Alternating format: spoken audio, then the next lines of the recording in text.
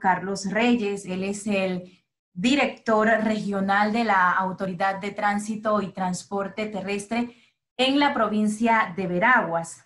Hoy vamos a abordar diferentes situaciones que se han dado en esta época de pandemia, cómo ha estado eh, el conductor, los peatones en las vías, los operativos actuales que lleva a cabo la ATTT. Buen día y bienvenido a El Pulso de Radio Veraguas. Muy buenos días, Querube, a ti y a todos los radioescuchas. Eh, efectivamente, la Autoridad del Tránsito y Transporte Terrestre Regional de Veraguas eh, no ha parado durante todo, toda la pandemia de seguir realizando las funciones que constitucionalmente se le han encomendado. Eh, venimos realizando un trabajo de, de verificación de puntos de controles con nuestros inspectores en diferentes puntos de la provincia de Veraguas, verificando el fiel cumplimiento a los parámetros establecidos por el Ministerio de Salud, como lo son el distanciamiento, la utilización del equipo de bioseguridad, la capacidad de los buses y en ese sentido pues hemos logrado eh, en alguna medida eh, el fiel cumplimiento de las disposiciones como lo que es la separación por, por fila de asiento. Eh, creo que los conductores han tomado conciencia, también la ciudadanía, por lo menos en lo que respecta a la utilización del transporte público. Eh, no tenemos mayores incidencias con lo que es el distanciamiento. Hay un cumplimiento eh, de un 95% aproximadamente de las rutas. están en funcionamiento dependiendo de la demanda. Eh, hay algunas rutas que hemos tenido conversación eh, y que han tenido que paralizar momentáneamente los servicios por el tema que se ha registrado algún tipo de brote, como en el área de Cañazas. Eh, ese es un acuerdo que se llegó Ministerio de Salud, transportistas, autoridad del tránsito, igualmente en el área de Mariato, para prevenir o, lograr que se pueda esparcir el, el, tema del COVID en el transporte público. Hemos logrado uno, uno, una, una, para, una para de aproximadamente unos 15 a 20 días para evitar eh, efectivamente la propagación. Entonces, en tema eh, de lo que respecta a, operativos, estamos fuertes tenemos todo nuestro equipo de inspectores en la calle verificando al transporte colectivo y selectivo en la provincia de Veragua y hasta el momento hay una efectividad importante y positiva para la provincia de Veragua. Hasta el momento en áreas de, por ejemplo, la ruta urbana ahorita, no se han dado reportes de la cantidad de personas que vayan en un transporte. Se ha tenido que llamar la atención a dueños de algunas rutas de aquí de Santiago de Veraguas, Canto del Llano, Punta. Tenemos muchas rutas y quizás se haya dado el incidente en el que van muchas personas. Bueno, hasta el momento eh, todos los días tenemos inspectores en el área de la terminal y tenemos eh, operativos sorpresa eh, yo te puedo decir que son casos aislados, quizá una unidad, y no precisamente tiene que ser eh, de las rutas urbanas, inclusive eh, puede ser de la vía, de la, de la, de la ruta hacia Soná, hacia Cañaza, que han tenido alguna, uno o dos pasajeros de sobrecarga y se ha procedido a bajarlo y hacerle la sanción correspondiente. Pero yo te puedo decir con mucha responsabilidad que son casos aislados, podemos hablar de uno o dos casos.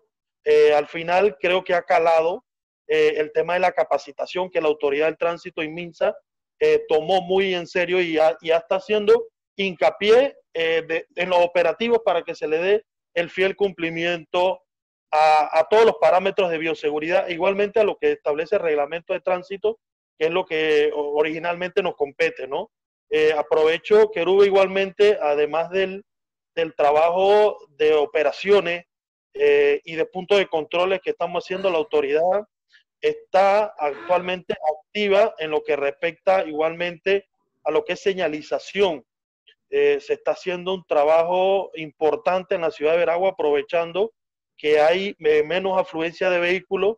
Estamos dando remarcación a todos los pasos de cebra. Hemos iniciado con el casco de la ciudad de Santiago. Igualmente nos vamos a trabajar a los próximos, en los próximos días a, a los siguientes distritos. Estamos colocando igualmente eh, resaltadores en lugares donde no se habían colocado, eh, igualmente haciéndole la remarcación a todos los pasos eh, o resaltos que se requerían por el tema de algunos trabajos que estaba realizando la empresa MECO. Entonces, en ese sentido, venimos haciendo trabajos paralelos eh, relacionados a señalización y puntos de control en lo que se refiere a lo que es operaciones de tránsito en sí. Bien, eh, hablaba usted de estos trabajos que se están eh, realizando en diferentes puntos. Recientemente nos reportaban por acá en la radio del área de San Francisco que hacen falta eh, esos resaltos en este sector en donde los buses, autos particulares pasan a una velocidad que no debe ser porque hay personas que mayores que pueden estar cruzando en ese momento y pueden sufrir algún accidente. Entonces, ¿cómo hacer que estas personas se dirijan directamente a la autoridad de tránsito y transporte terrestre de manera que esa solicitud sea atendida y se pueda dar ese servicio a la comunidad?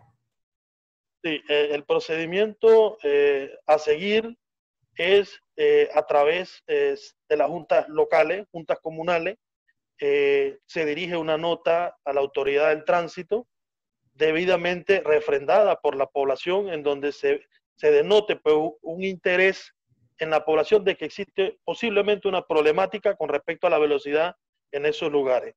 Esa nota es recibida en nuestro despacho y es pasada al, departamento de señalización, en donde el departamento eh, hace una verificación si realmente eh, los tramos, los límites de velocidad, se realiza un aforo para determinar o no sí o no la viabilidad de la construcción de un resalto. Entonces, una vez aprobado, se le, se le hace una, una, una instrucción al Ministerio de Obras Públicas para que lo, para que lo construya y luego de eso entonces nosotros le, le hacemos la señalización, como lo es la pintura caliente, para que quede debidamente eh, eh, ilustrado de que hay un resalto y originalmente igual eh, la, señal vertical que indica que próximamente se va a dar un resalto. Entonces, ese es el procedimiento. Nosotros estamos siendo bien minuciosos en la construcción de un resalto. no, no puede ser un tema antojadizo por alguna persona que quiera un resalto frente de su casa. estamos verificando que realmente sea un tema comunal, que la comunidad lo necesite, que sea un tema de peligro, de un riesgo al peatón, eh, y necesariamente tenemos que tener estos dos componentes para darle eh, viabilidad o, el concepto favorable para que el Ministerio de Obra Pública lo construya. Entonces, eh, efectivamente, cuando, cuando estas notas y todos estos procedimientos se den, nosotros lo vamos a estar haciendo, pero siempre apegado al cumplimiento de las normas. No podemos estar construyendo resalto a diestra y siniestra. un llamado igualmente a la población de que no construyan resaltos de tierra, eh, de que no lo hagan bajo sus parámetros porque no tienen el cumplimiento de la, de la, de lo, de lo realmente de las de los diámetros que establece el, el Ministerio de Obras Públicas. Y eso puede ocasionar un accidente o una víctima que lamentar y lo que no queremos es eso, que lo hagamos siempre bajo los canales de la autoridad del tránsito. Siempre, eh, por ejemplo, primero ir a la junta local y luego de que esta población apoye esa, esa nota que va a ser enviada a la ATTT. Todo lleva un proceso y se puede solucionar siempre y cuando se busquen los mecanismos, porque me llegan muchas solicitudes a, la radio, pero yo digo, bueno, es que yo no soy la ATT, yo creo que hay las entidades eh, pertinentes, pero sí hace falta ese conocimiento quizás por parte de la población, cuál es ese procedimiento para solucionar cualquier situación y que se crea que sea necesario, como usted señala, no se trata de simplemente hacer un resalto porque frente a mi casa me afecta, no es algo que afecte a todo a toda la comunidad. Me parece muy bien ese punto también, aparte de eso. nosotros actualmente estamos eh, dando conceptos favorables a muchas solicitudes que se están haciendo hay que recordar que la pandemia eh, nos ha traído algunas paralizaciones en algunos trabajos, igualmente al MOP, que es el que lo construye, pero sí, ya se han dado conceptos favorables a varios eh, resaltos aquí en Santiago, en, en, los distritos también, como en Calobre, San Francisco, eh, que se ha denunciado altas velocidades. Sí se, sí se van a estar eh, dándole, favorecer algunos de estos resaltos, pero es necesario que logremos entonces completar el ciclo o el proceso para darle una respuesta a la comunidad de la manera más, más rápida y evitar de esta manera algún tipo de situación que tengamos que lamentar.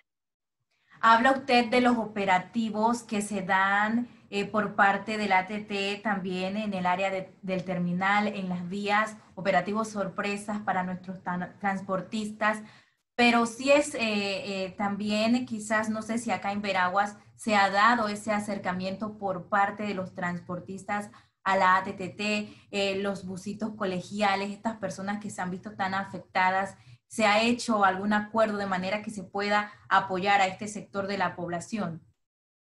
Sí, mira, eh, efectivamente el tema de los buses colegiales eh, ha, sido impactado por el hecho de la paralización de las clases y, hay, una, hay una instrucción eh, superior para que esta, estos, estos tipos de transporte, el que así lo, lo tenga bien y, tenga alguna funcionabilidad o algún contrato con alguna de las empresas para cargar eh, empleados de manera privada, nosotros estamos concediendo eh, algunos permisos para esos rubros.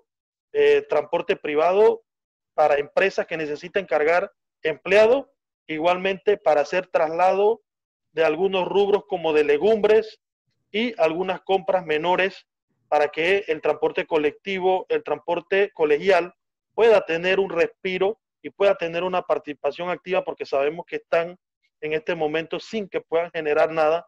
Y creo que ha sido un acuerdo del Ejecutivo con la Autoridad del Tránsito en donde nosotros le podamos dar esa solución al transporte colegial. Efectivamente, aquí en Veragua ya se han otorgado algunos permisos a, los colegiales para que realicen estas labores y creo que se está haciendo todo en el marco de la ley y de esta manera le damos una respuesta a los empresarios que necesitan asegurar que, que sus colaboradores estén eh, bien de salud, ¿verdad? estén lo menos expuestos posible y también le damos una solución o un paliativo a los, a los propietarios de certificados de operación del transporte eh, colegial que están requiriendo a gritos un apoyo de parte del gobierno y creo que ese es el compromiso que se ha tenido con ellos para darle en estas dos vías una solución tanto a los empresarios como también al transporte eh, colegial. Así es. Eh, también la atención que se brinda en estos momentos en la ATTT eh, es presencial, las solicitudes se están atendiendo al público. Correcto. Eh, nosotros estamos teniendo un, horario, no hemos cerrado durante toda la pandemia. actualmente tenemos un horario normal de 8 a 12, perdón, de 8 a 4. estamos trabajando de manera corrida en horario, en horario normal. Eh, todas las ventanillas de la autoridad del tránsito están funcionando como trámite, eh, igualmente las cajas, registro único, y ya estamos haciendo las programaciones correspondientes para iniciar y retomar el tema de las audiencias de tránsito que hemos tenido una paralización precisamente por la suspensión de los términos administrativos. Entonces, eh, saliendo de esta sesión, vamos a entrar a una reunión con nuestro director nacional, con el secretario general, en donde se van a tomar algunas medidas, en donde, donde hay juzgados que realmente requieran eh, eh, reprogramar. Vamos a estar iniciando y se tiene previsto anunciar la fecha cuando tengamos esa fecha de, reinicio y de reprogramación y de levantamiento de los términos administrativos, con mucho gusto se lo vamos a hacer llegar a, a los medios de comunicación para que ustedes manejen la información. Pero la atención al público en la Autoridad del Tránsito no ha parado durante toda la pandemia. Están todas las ventanillas habilitadas. Igualmente, CETRACEN, que es un brazo auxiliar de la Autoridad del Tránsito, está funcionando a través de citas, eh, eh, acercándose a, las oficinas. Están los links en donde pueden accesar para obtener la cita, ya sea por primera vez, renovación, y todos los procesos se están llevando se están tratando de manejar y de hacerlo lo mejor o, lo, más regular posible para no, para no retrasar ningún trámite como lo que son placas, pago de boleta, renovación. O sea que todos estos aspectos se están atendiendo en un horario de 8, de 8 a 4 para darle atención a todos nuestros usuarios. Para finalizar ya, eh, los conductores, peatones están siendo eh, precavidos, están tomando en cuenta esas recomendaciones que siempre da la ATTT. Accidentes, se han registrado muchos accidentes durante esta época de pandemia, a pesar de que hay pocos vehículos en las vías, eh, menos circulación o, simplemente las personas aún siguen siendo insistentes en incumplir estas recomendaciones eh, que siempre da la autoridad de tránsito. Bien, las estadísticas que manejamos a la fecha nos indican que durante la pandemia obviamente han disminuido las colisiones. Eh, efectivamente, igualmente los atropellos casi durante este tiempo eh, casi no tenemos eh, en, esos, en esos rubros, pero sí se están originando una mora en el tema del lugar de tránsito por todas las audiencias que se tenían programadas antes que iniciara la misma, el mismo COVID en sí. Entonces, esta reprogramación está trayendo quizás algún perjuicio eh, a algunos propietarios que no han podido, porque mientras no salga la resolución del, juzgado de tránsito en donde declara la responsabilidad de alguien, no han podido. Entonces, nosotros estamos tratando de eh, agilizar esto lo más pronto posible para darle respuesta a los usuarios. Bien, el mensaje entonces tanto a usuarios de esta institución, nuestros transportistas, eh, conductores, peatones, esas recomendaciones que siempre da eh, la ATTT para finalizar esta entrevista. Recomendación tanto para nuestros usuarios como también para todas las personas que utilizan el transporte colectivo o selectivo, que necesariamente sigamos cumpliendo los lineamientos del Ministerio de Salud, utilizando todo el equipo de bioseguridad, porque eso, el primer anillo de, seguridad o de salud somos nosotros mismos. Hay una palabra muy importante que creo que es un mensaje a la ciudadanía, lo que es el autocuidado. Creo que nosotros mismos tenemos que cuidarnos. Esta es una situación endémica que va a durar por, por un prolongado tiempo y nosotros somos las primeras personas que tenemos que cuidarnos. Y cuidándonos, nosotros estamos cuidando también a todas esas personas que están en nuestras casas, como lo son los adultos mayores, que realmente en esta situación de salud que está viviendo el país, que está viviendo el mundo entero, eh, cuidar a nuestros adultos mayores creo que es una responsabilidad primero de nosotros mismos. Entonces el llamado es al usuario, a todas esas personas, a todos esos veragüenses, a todos esos santiagueños, que realmente nosotros creo que podemos hacer la diferencia en tratar de disminuir la cifra porque así lo hemos venido haciendo. Eh, el mensaje para ello, sigamos cumpliendo los lineamientos del Ministerio de Salud al momento, como lo es el lavado de manos, eh, el distanciamiento, el uso de mascarillas, creo que son elementos importantes. Igualmente, en el tema de transporte, hacer el buen uso eh, de, los vehículos en la vía, porque se han denotado el tema de la alcoholemia no ha parado, son casos lamentables que eh, durante una pandemia nosotros tengamos temas de alcohol, se están sancionando severamente y el llamado de atención es para esas personas que pongamos eh, la barba en remojo y que, y que estamos en unos momentos tan difíciles para que nosotros como veragüenses tengamos una, una cifra y podamos con, eh, de, de, esta manera cuidar a nuestros adultos mayores. Así que el mensaje final es en esa línea. La autoridad del tránsito siempre está vigilante del cumplimiento de los temas de salud, con respecto al transporte público. Estamos dando toda la atención.